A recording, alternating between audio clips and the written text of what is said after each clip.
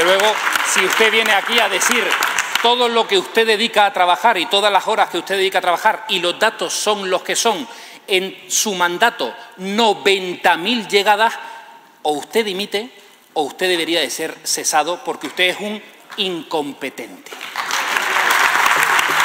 desde, luego, desde luego dice usted que el botón mágico, no, el botón, el botón mágico el que usted debería de haber apretado con el CIBE de Lanzarote, que le costó al erario público 6 millones de euros y yo en esta Cámara me he cansado de hablar del CIBE y mis compañeros lo saben, y usted, cuando una vez consigue instalar el CIBE, permite que lo quemen, que ha sido quemado hace dos semanas por la falta de vigilancia que usted le ha dado al CIBE. Señor ministro, insisto, la incompetencia la están pagando en Canarias y los canarios no merecen el ninguneo al que está siendo sometido por su gobierno. le voy a dar un dato de los inmigrantes que hemos recibido en Canarias. Son 31.887 inmigrantes que soportan un territorio tan delicado y fragmentado como es el canario.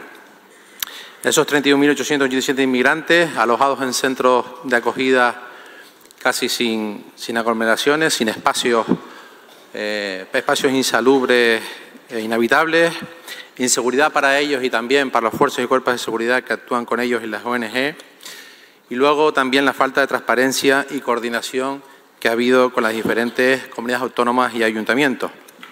Y para ello hemos presentado esta pregunta de cuándo se iba a convocar la conferencia sectorial en inmigración. Hemos visto que después de registrar esa pregunta ya ha convocado esa conferencia para el día 20 de noviembre.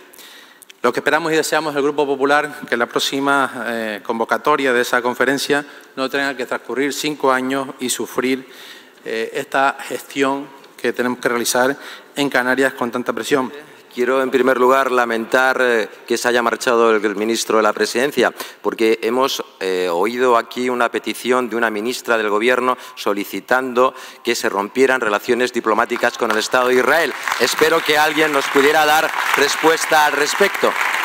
La verdad es que si observamos algunos de los datos realmente no le encuentro la gracia que parece le encuentra a usted. Mire, le voy a dar algunos. 44.404 inmigrantes en situación irregular han venido a España, según los datos oficiales provisionales a 31 de octubre en este ejercicio, frente a los 28.196 del ejercicio pasado, es decir, un 57,5%. Si vamos a, si vamos a Canarias, 30.705, un 111,2% más. Realmente no le encuentro la gracia, porque mire, la inmigración es un problema complejo, con múltiples aristas, que necesita de soluciones multidisciplinares, con la intervención de varios ministerios, sin duda, pero con la implicación del conjunto de las administraciones públicas. ¿Por qué no explican cuáles son los criterios de asignación?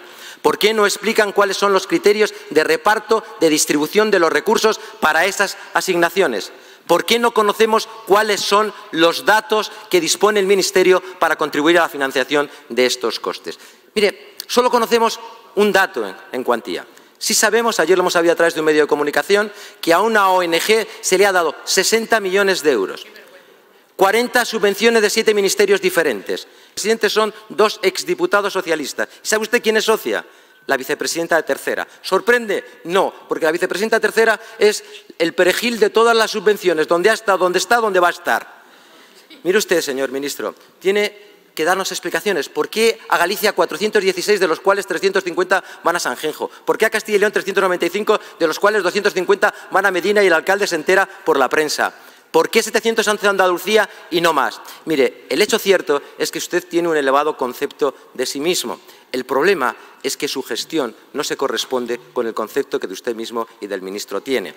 Y no llega al 50% probablemente.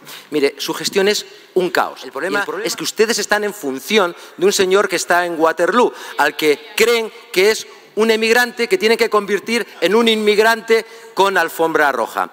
Mire, hágame caso, rectifique. Rectificar es de sabio. Hacerlo todos los días ya sé que es de necios, pero los españoles se lo agradecerán, las comunidades autónomas también y los inmigrantes también. Y termino. Recuerde, señor ministro, Puigdemont no es un emigrante, es un prófugo huido de la justicia. Pero sobre todo, pero sobre todo, es sobre todo es la unidad de medida que da el nivel exacto de la indignidad de su Gobierno. Quedó registrada en el Congreso la proposición de ley de la amnistía que tanto el partido de Gobierno y sus socios separatistas y traidores ha pactado contra la unidad de España y en prejuicio de todos los españoles. El texto propuesto, si llegase a aprobarse, consumará un golpe de Estado con una usurpación del Poder Judicial para amnistiar a quienes intentaron y seguirán intentando romper España y la convivencia entre los españoles. Y todo ello solo para mantenerse cuatro años en el poder. Lo hará, eso sí, por la vía legal, retorciendo el ordenamiento jurídico y aprovechando los vacíos legales y la falta de control que los reglamentos del Congreso y del Senado otorgan a las proposiciones de ley. Los senadores de esta Cámara tenemos que hacer todo cuanto esté en nuestra mano para frenar la tramitación de esta proposición de ley ilegal. Señorías, porque es ilegal. Señorías, tenemos margen de maniobra para detener la proposición de ley orgánica de amnistía para normalizar institucionalmente la política y la sociedad en Cataluña, con la que buscan humillarnos y que compromete la propia existencia de la comunidad política. Ante este ataque a la separación de poderes y al Estado de Derecho, los senadores de Vox hemos pedido a la mesa, en un nuevo escrito, que deniegue la tramitación y que, en todo caso, la mesa solicite al letrado mayor un informe sobre la conformidad con la Constitución y sobre los efectos que tendría la eventual declaración de su inconstitucionalidad por parte del Tribunal Constitucional. Nadie puede pasar de perfil cuando nos jugamos tanto en España. El futuro está en nuestras manos.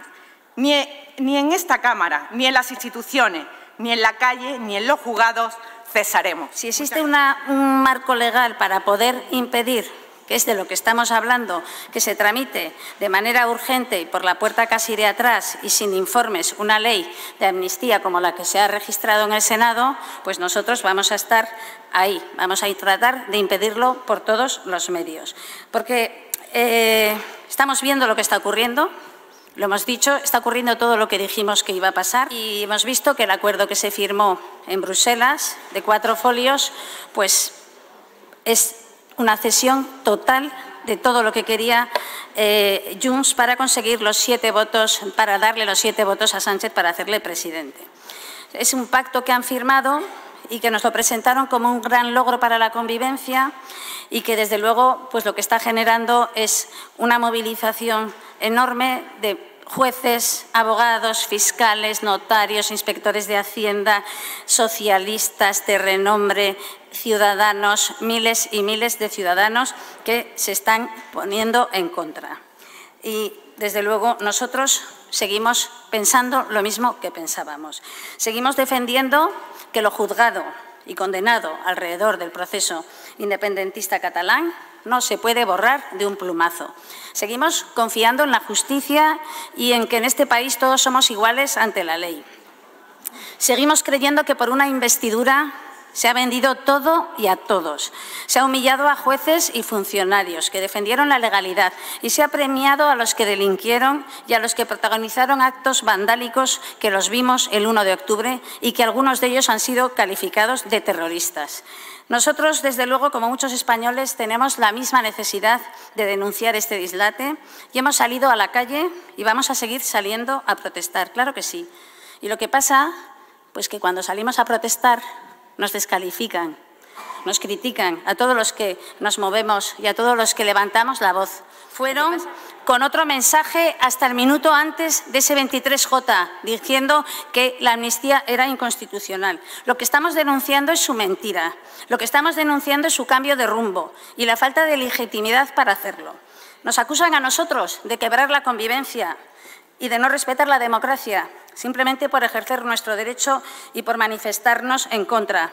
Ustedes que han abierto los brazos y han acogido en su seno a los que nos amedrentaban, a los que nos amenazaban, a los que nos hacían escraches, a los que han pactado, están pactando con los que nos han amargado la vida en Pamplona, en Navarra, en el País Vasco y en España. Eso es lo que estamos criticando y con todo el derecho.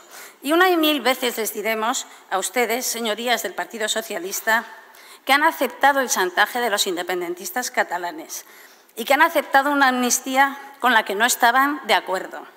Y una y mil veces les diremos que EH Bildu, su socio prioritario de gobierno en Navarra y socio en el Gobierno de España es una formación política capitaneada por los herederos de ETA que todavía no han condenado el terrorismo. Una formación política que incluye a terroristas en sus listas y que sigue participando en los homenajes a los etarras cuando salen de la cárcel. Un acuerdo que han adoptado con EH Bildu del que todavía no conocemos nada. Ustedes sí que negaron una y mil veces que no pactarían con ellos y lo hicieron. Y ahora van a aprobar una amnistía que decían que no era constitucional. Ustedes han traspasado las líneas rojas por mantenerse en el poder y por miedo a perder una nueva convocatoria electoral. Pero su credibilidad es cero. Y esa no será culpa de la derecha, ni de la ultraderecha, ni de UPN. Es culpa solo suya. Muchas gracias por ver el video. No te olvides de suscribirte, darle me gusta y activar la campanita. Nos vemos en el siguiente.